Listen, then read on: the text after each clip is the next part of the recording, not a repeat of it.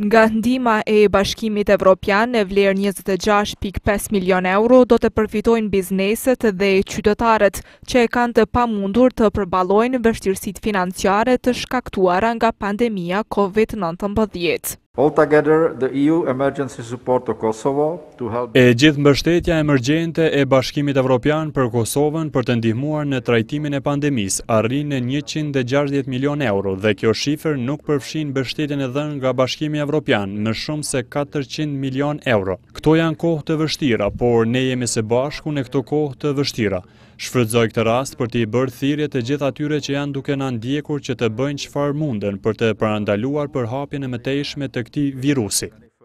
Duke falënderuar Bashkimin Evropian për mbështetjen që po i ofron Kosovës, kryeministri Avdullah Hoti tha se situata e krijuar nga pandemia Covid nëntëmbëdhjetë ka treguar se sfidat mund të përballohen vetëm duke punuar së bashku.